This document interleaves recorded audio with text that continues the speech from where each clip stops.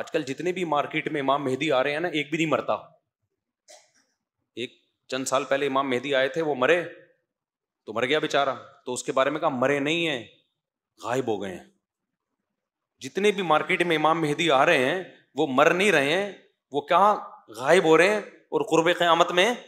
दरियाफ्त होंगे